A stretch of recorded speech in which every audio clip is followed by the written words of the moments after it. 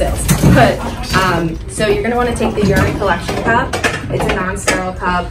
Um, you want the patient or the, your client, patient client, um, to pee into the cup. Uh, you want it to be first catch, so that means they don't pee before they put it into the cup. They just automatically pee into the cup. Um, and basically, you take that from them, you pipette it, so it's like a little squeezy tube into the pipetter. It's such a small amount. I think it's two milliliters, and all you have to do is literally stick it in the tube and fill it into between the two lines. It's like two little black lines. I'll pass this around so you can see. But a little liquid on the side. Okay, pass that too, so everyone can see it. Um, yeah, I mean, first catch is the best. You don't want anyone to pee uh, prior, so I guess like probably like an hour, I think it is. So as long as they haven't gone to the bathroom within the hour, the urine should be up to fine. here. Yep. And you're in between this box. Mhm. And there's already like liquid in there, so that's the solution that they use to test it. So all you have to do is literally dry, uh, drop, I think, like two milliliters of urine into it. Now, I see that there's two cups there. The one that you just showed Yep. and then another one. It doesn't matter which one? It doesn't matter. Okay. Um, So, so that So- one is the one we have here, but then the white one, that's the one that Custom Mountain provides. So either. so you guys can use either. Um, I mean, with these, usually these are for like other tests to actually send to the lab. Mm, So Okay. if you don't want to waste them, I wouldn't use them. Um, but you guys are only doing the STI testing through Quest, so you're only for the most part probably going to get these through us. Okay. And this will be the easiest to Just toss it Yeah. at the end. Yeah. So basically the clients say, oh, I want to get tested. Or we Mm-hmm. do, so they cannot pee prior to the test. They shouldn't. Yep. Right. So an They hour shouldn't. before. An hour before. Yeah. So What if they did? because they want it to be the first catch, they want it to be like a fresh urine that's Okay. kind of been in there. Um, I know that with like the mid catch and towards the end of it too, if it's kind of newer, it's they can't catch on the particles as well in the machine. I think that's what it is. So Yeah. I can get a better answer for that, but Okay. a more So do we not test them then? So if they have gone to the bathroom in the last hour, say we can't do the test, come back in an hour? I mean, you can, but I it might not be as accurate. So Okay. you want to keep it as accurate as possible. That first catch, hopefully they have seen before they come. in. If you know someone's coming in to be tested, you can tell them that. Just be like, don't pee before you come in if you're coming for the STI test. That oh, way, So how we plan it here is once they walked in to get tested for um, HIV, we also will provide, we will offer them the STI. Okay. I think it's gonorrhea and. it's uh, chlamydia and gonorrhea. Chlamydia and gonorrhea. Mhm. So then we'll escort, we, we're gonna give them the cups and then we're gonna go we'll escort them to the bathroom and tell them to pee in there. We have an extra box of, what, Karen? Yeah, we're Of gonna extra box to put. We're gonna leave it by the bathroom, so when they come out, they, um, you know, they can place it there. Now, we can go back, uh, because of confidentiality, we don't want to put no names on it. We're just gonna put the code of the client, the, the code Like we we give to the client, testing. as we do with the HIV test. And then once they leave, when we escort them out, we will go back, we grab it, and we do the. So once we collect the urine, what's that, and we put them in the little tube, what's Yeah. the next step? So the next step would be to label it. So Okay. what you guys would do is you, which we'll get to, we're gonna do an electronic training as well, so you guys know how to order. Um, we need to get, I think, logins for everybody here. I think, um, and what you'll do is you input it on the computer. You'll stick, um, once you input the order on the computer through the portal, it'll print a label. You guys will have a label printer. Okay. The label you'll want to put on the side of the tube. It's just a sticky label. It's pretty easy. Um, and then you stick it with the printed paper with the order. So you order the, it online. It'll print a paper and it'll print a label. And you'll put the paper in the bag with the specimen. You don't have to put the pipette in or anything like that. Um, and then you just stick it in the box. Okay. And we So pick it up. that's and gonna be it. downstairs. Yes. Right. Okay. So we'll get you another box too, because I think that that's Western Queens Recovery box. Oh, okay. Okay. But I'll get you guys your own too. So, because Right. the way the drivers do it, they scan it and make sure Oh. that that's how we Oh, track okay. it. Okay. Make sure you guys are. So we, so we I think you send us a new book, the new box we have back there. There's the a new testing If you want to yeah. use that box for the collection, as we talked about, and then I'll get you guys another one.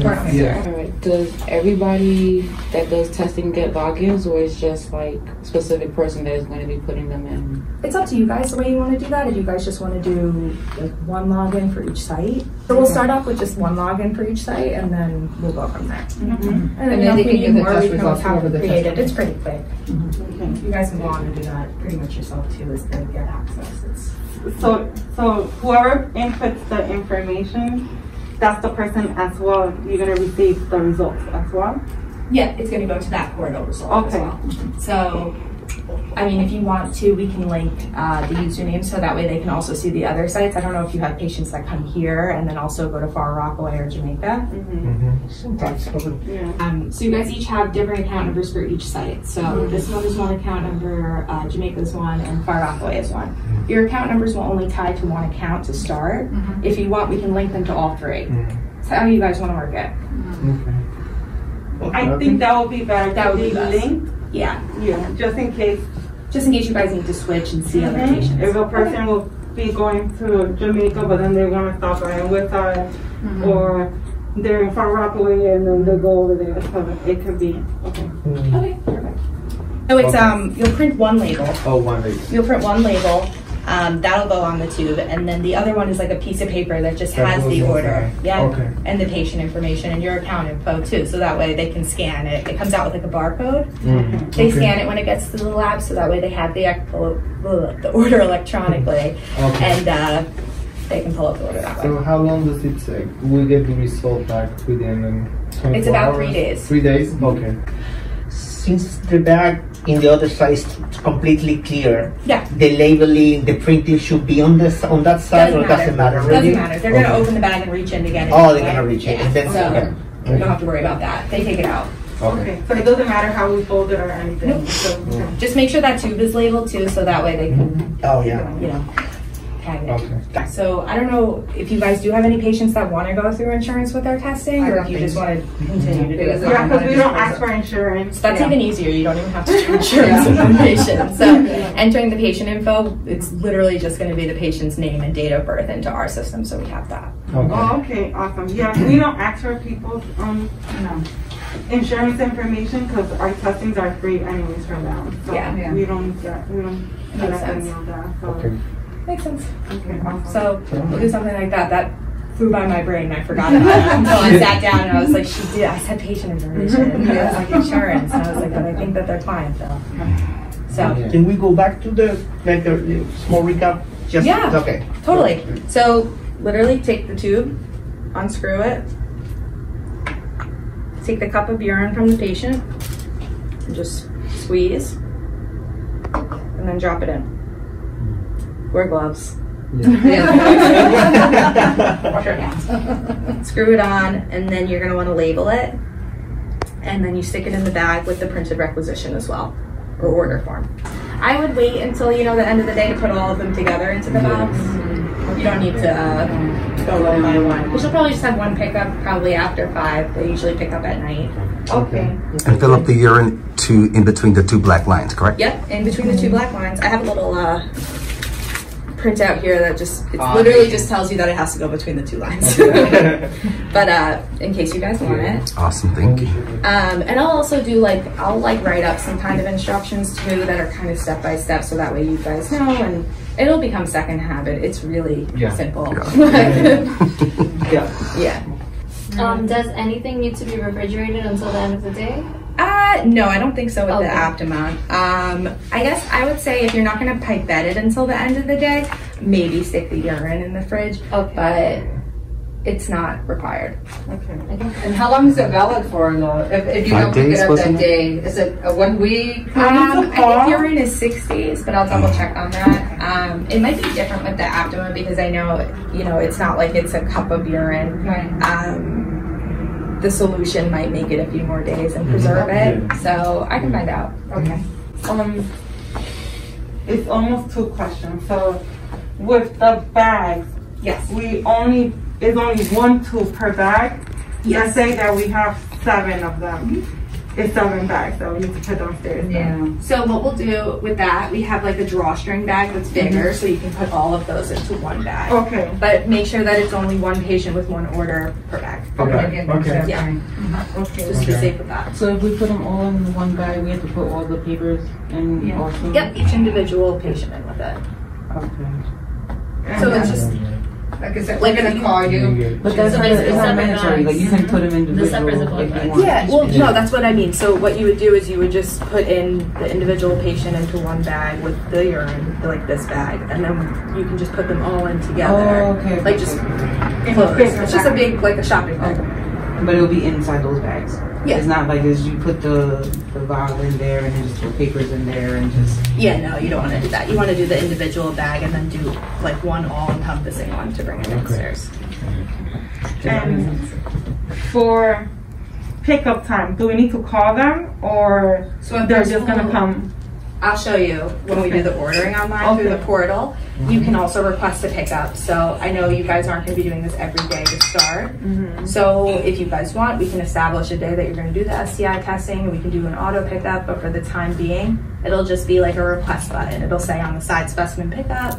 You click it, schedule, put the time in. It's like kind of like Amazon ordering. It's like so easy. So it's, Or is there a certain time that is it cut off? Like, do you have a time?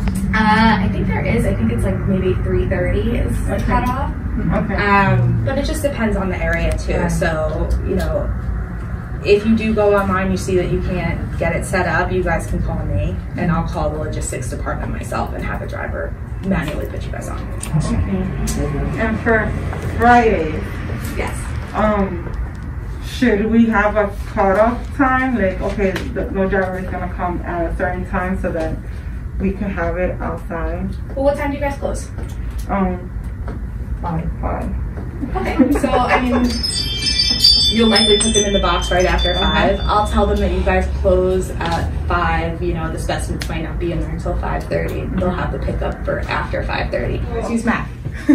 So I have a question. Okay. Do you recommend us putting it at a certain computer so then whoever Identify. like, uh, whoever's doing the STI testing, like, okay, this is the computer that we're gonna be entering stuff, Yeah.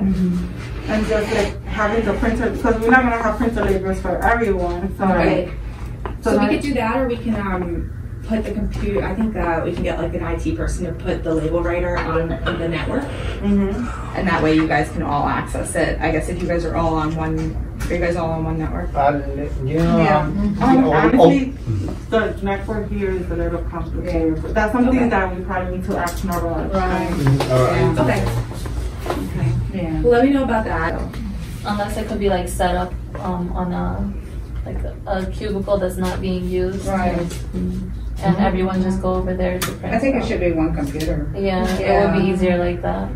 I mean, I know Like everybody one wants. person, so that, that's all the results come into one Yeah, person. like You'll uh, distribute unlike to the an empty cubicle, like you know Brendan's old Right, uh-huh. cubicle, like just there, and Right. whoever needs to print it out, just go over there. Mm-hmm. Right. It would be nicer like that. Yeah, with that. Mm-hmm. My name is Lauren Keossian. I'm with Quest Diagnostics. My phone number is 732 996 5799. 732 996 5799. Sorry, I'm really not good with these names. um, my email address is Lauren. It's L A U R E N dot M as in Mary dot K as in kite E as in elephant O as in octopus double S as in Sam E as in elephant I as in igloo A as in apple N as in Nancy at questdiagnostics.com.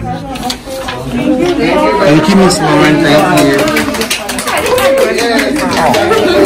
Thank you.